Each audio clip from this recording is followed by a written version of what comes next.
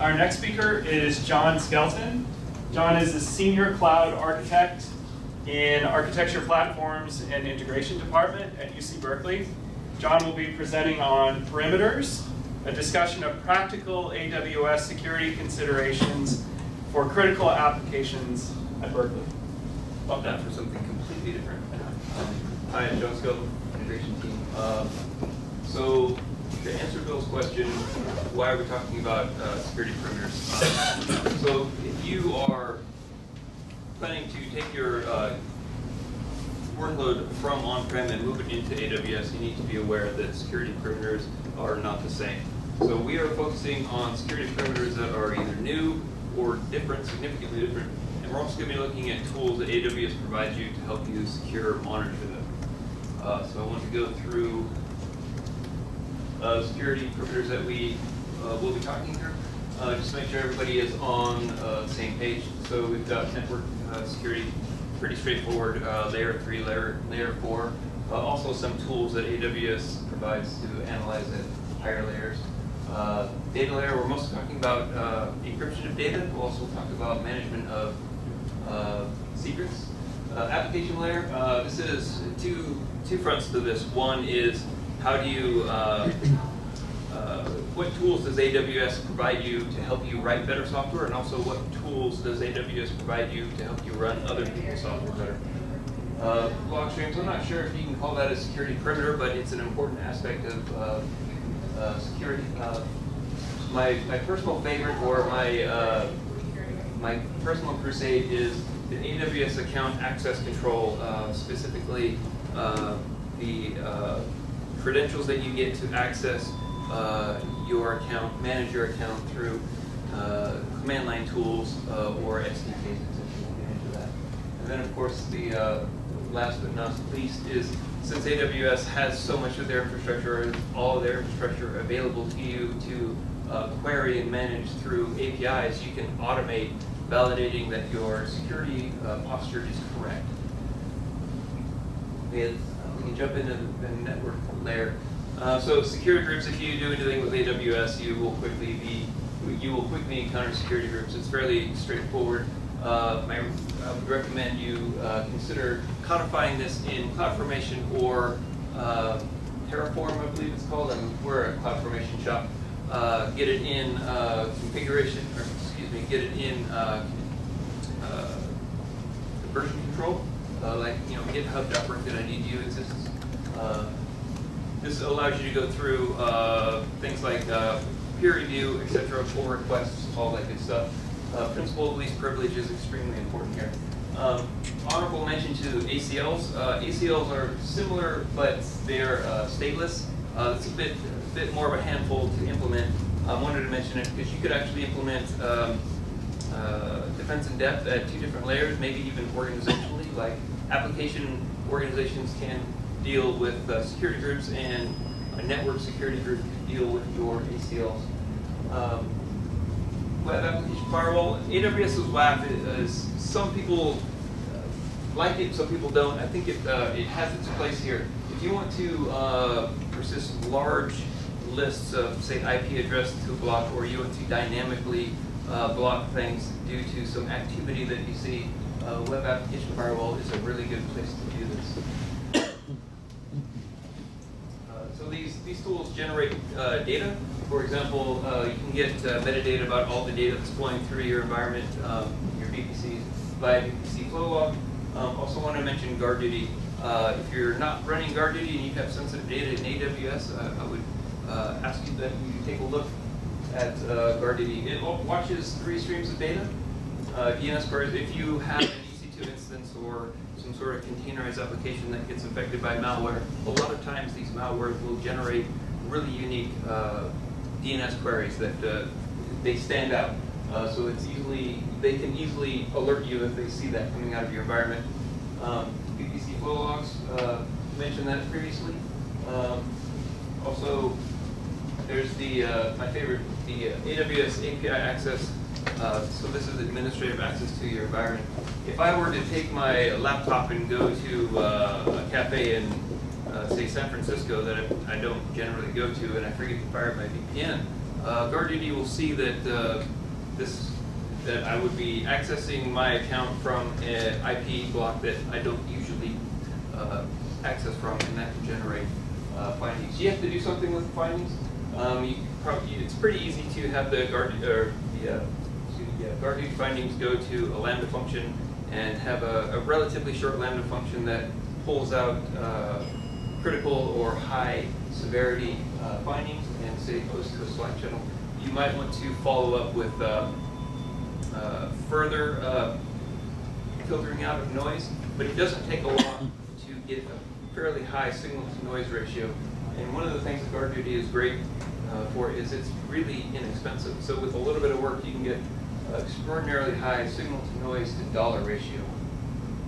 Um, so this is not necessarily how they implement it. This is my own personal mental model, which is something I realized after I put it in the slide.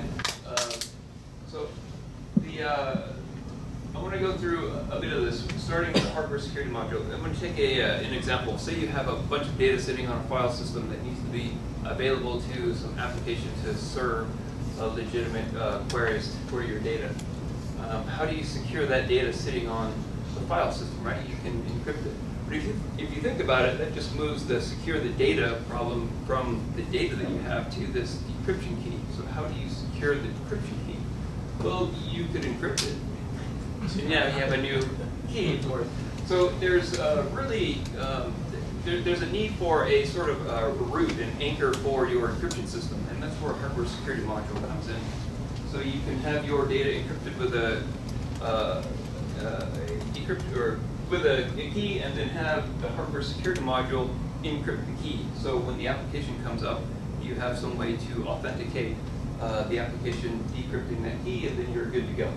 Um, but but wait, there's more. KMS um, is built on top of a hardware security module, and it provides you with a simple uh, subset of functionality of an HSM to do uh, encryption, decryption, as well as managing these data keys. Um, so it, on top of that, they have uh, integrated that with a bunch of their data persistence layers, like RDS and S3. Uh, EBS are listed here. There's there's others. Uh, but even better is, uh, on top of that, they've built uh, parameter store and secrets manager. So the secrets manager is perfect for my original example. Uh, you can have the data key just persisted in either encrypted parameter store or secrets manager. And then in your cloud formation, you can allow your application to access the decrypted data key directly out of secrets manager. Um, this actually works really well and it's done correctly. It's, uh, it's an industrial strength solution and it's really, really cheap. Of course, yeah, the done correctly part is can be challenging. Uh, so there's, uh, there's, there's some complexity here. Uh, uh, so with the, uh, there's different types of KMS keys. One, um, there's the Amazon managed keys, which they come kind of pre-baked into your environment. You can just use them. They're free or very close to free. If you want to do some cool things like uh, provide for uh, disaster recovery, copying snapshots, for example, from one account to another, uh, this requires a little more tinkering. You'll need uh, customer managed keys to uh, extend the uh, access privileges on those keys. Um, we talked about the rest of that. Um, data in motion, it's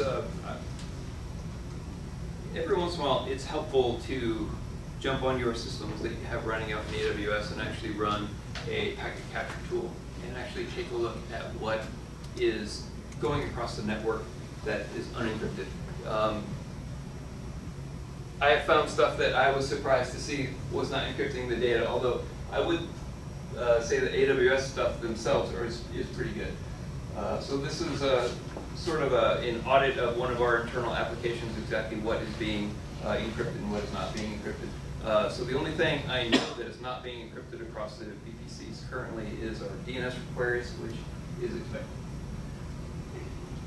Uh, so the application perimeter. Um, so AWS, like I said before, has a bunch of tools that are available to you via API. So you can leverage this to write better software. We have this uh, application um, when you uh, when a developer submits a pull request, um, it kicks off, kicks off a bunch of automated processes. It actually builds out a test environment using the proposed uh, new version of the application, runs a bunch of unit tests, posts uh, the results of the unit tests to the pull request. It runs um, static code analysis, um, as well as takes a look at all the uh, uh, external dependencies, libraries, whatnot, to see if anything, see if the application is now dependent on uh, libraries that have known uh, vulnerabilities.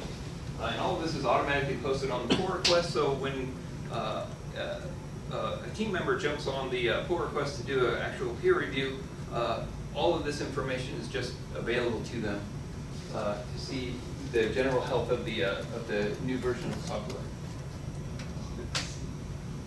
We do something similar for AMI, um, Amazon Machine Images. Uh, when a new AMI is built, we use a, a AWS Inspector, which is a, a vulnerability scanner. Uh, so it generates a PDF, upload the PDF to S3, tag the uh, AMI with the uh, path to the PDF, so we have like the starting point of the uh, of the AMI build. Um, as well as, as the EC2 instances run, they are peri- periodically scanned by AWS inspectors, so we have sort of a, a point in time uh, vulnerability scan of, from the AMI all the way through to the current state of the uh, EC2 instances. Uh, Third-party security audits and pen testing, this is something that uh, I don't see a lot on campus, and I think that's unfortunate.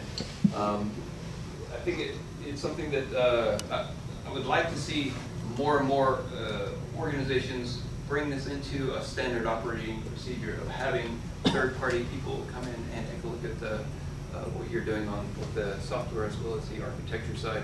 I've never gone through a pen test with a qualified team that didn't come back and tell me things that I really, really needed to know.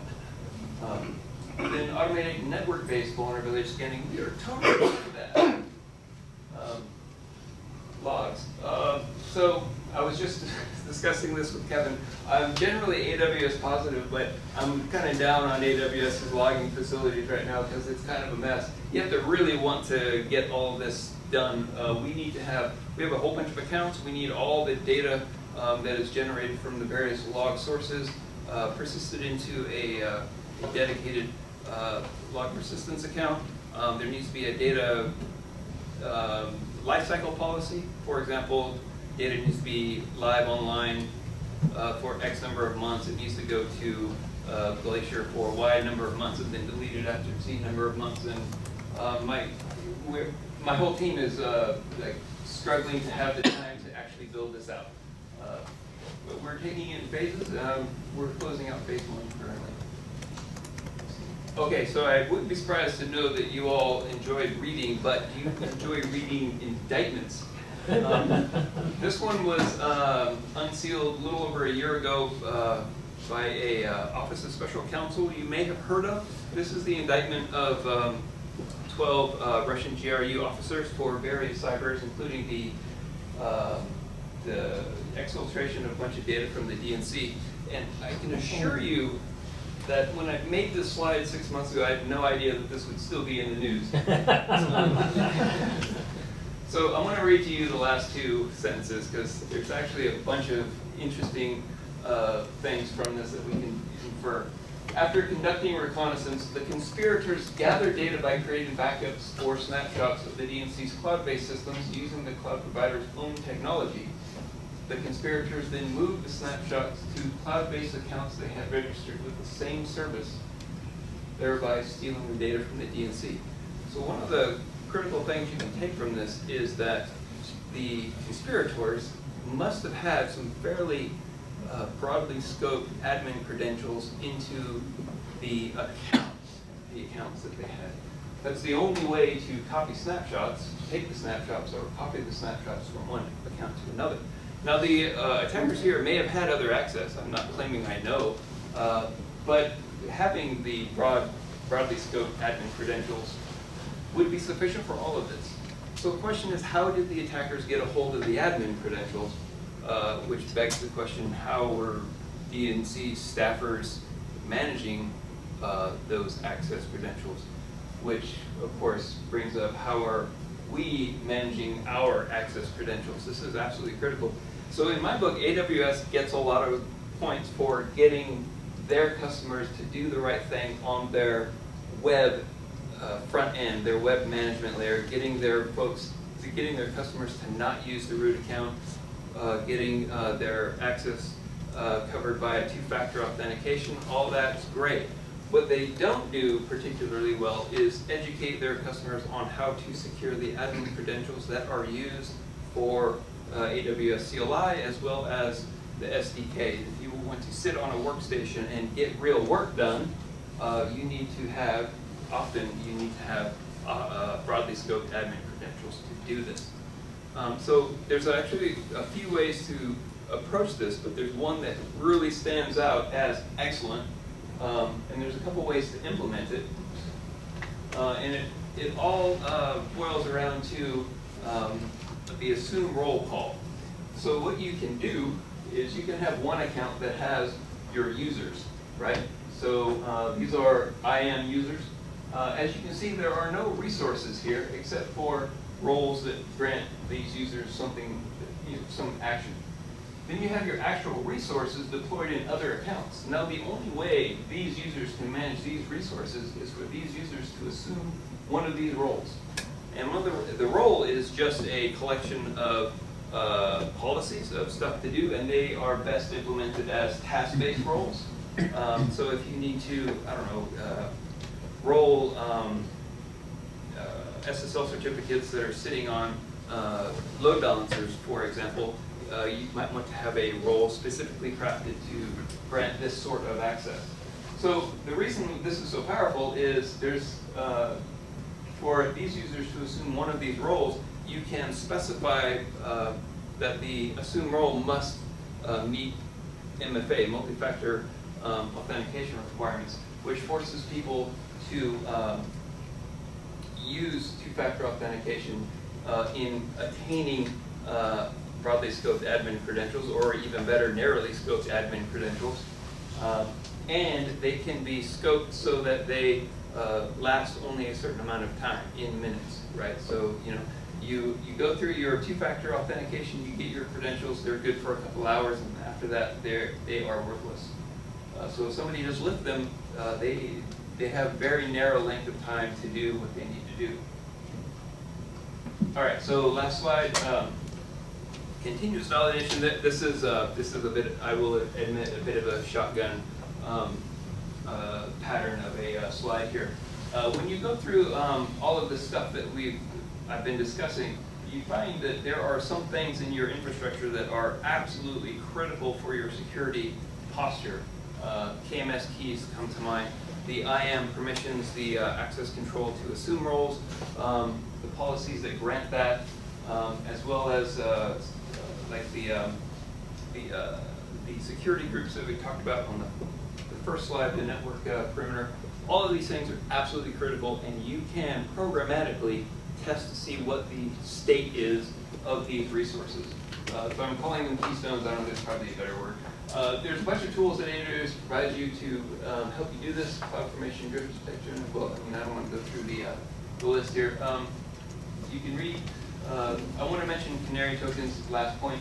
Um, so you can create uh, AWS access keys that don't actually grant any access, except if they are used, they set off alarm bells. So you can sprinkle your code, your workstations, your servers with these, and there is no way for an attacker who steals these credentials to know whether they are any good or not. And right now, there are people on the dark web complaining that they have piles of access credentials and they don't know if they can use them or not because they know the people that they stole them from use canary tokens. Um, all right, so one quick plug. Um, a lot of this stuff, uh, the Dome9 security folks, they gave uh, this, this, um, this presentation at last year's uh, uh re:Invent. Um, I want to plug it because it significantly impacted my team's uh, trajectory on approaching security parameters and um, they're also talking about perimeters, so I wanted to plug it. Um, it's a bit different. Um, it goes in much more depth, uh, and they're security professionals.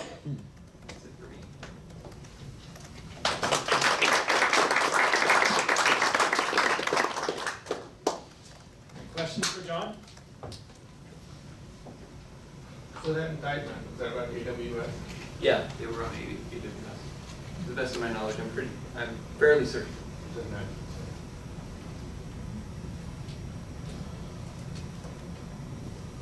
Another question here?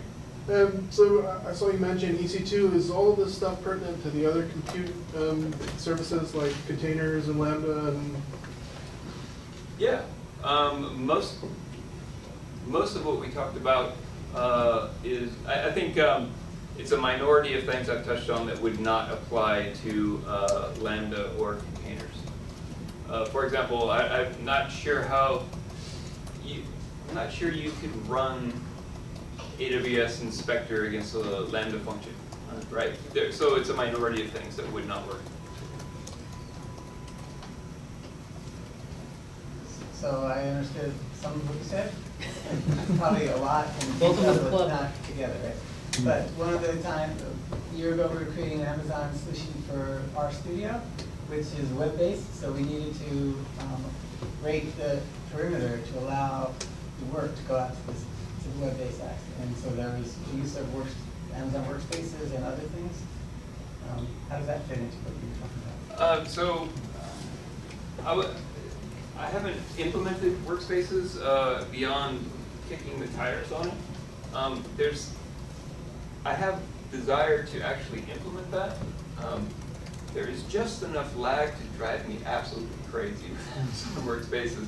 Um, so one of the things that you could do for workspaces is you could have a designated uh, network for deploying the workstations uh, hosted Amazon workspaces. Uh, and then you can do cool things like the, uh, when you assume role to grant you your uh, broadly scoped admin credentials, uh, you can you can add uh, controls on it to say that these are only good on the following uh, IP address ranges. Um, there's been some blog posts. This this this, this topic came up immediately after the Capital One breach because uh, it's like how do you control where people are using your access credentials? So that's one way uh, that uh, workspaces come in handy. It's it's actually something that I want to implement. It's just I'm so spoiled having a local uh, command line, you know, Yeah, for sure. terminal. Um, so you mentioned you have a kind of a logging strategy that's long-term. Um, you want to tell us what you're going to do once you aggregate the piles of data and how you're actually going to analyze and view, view that? So this is, this is actively being discussed on my team, right? So you have, uh, um, uh, the load balancers log directly to S3. You've got WAF goes to Kinesis Firehose to maybe S3. Uh, you've got Lambda and EC2 instance applications going through CloudWatch logs. Uh, RDS instances create logs that go to um, they just sit there, you have to figure out some way to get it out, right? You can log in and click on your RDS instance and download, for example, the uh, slow queries log for MySQL. Uh, so we're going to have an extraordinary uh, large number of pipelines to get, to collect all this data and get it into an analytics environment. What the exact tools that we're going to use are unclear, right? You've got insights on uh, CloudWatch logs, and I've used it. It's it's functional, but it doesn't cover any of the other uh, uh, cases. Um, you've got uh, Athena, I believe, on S3, which I played with. It's really nice, but it doesn't cover a bunch of the other uh, analytics. And we have a we already have uh, an Elasticsearch implementation on campus so there's a, you know, there's a, there's an affinity, affinity there between team members and that technology. So it's very likely that we are going to have a whole bunch of pipelines to funnel all this data into uh, a whole bunch of Elasticsearch clusters uh, sitting there. The data will probably also have to live in S3 because the S3 to uh, Glacier uh, data lifecycle management is is bulletproof. Um, it's set up correctly. So that's probably what we're going to rest on, which means we get to do everything. So I wish things were better there. I, am generally AWS positive, but uh, we need some help here. Hi, Kevin. I don't know if that answers your question, but we're, we're still struggling with it. Any other questions for Jon or any of the other speakers, Constantine? Okay.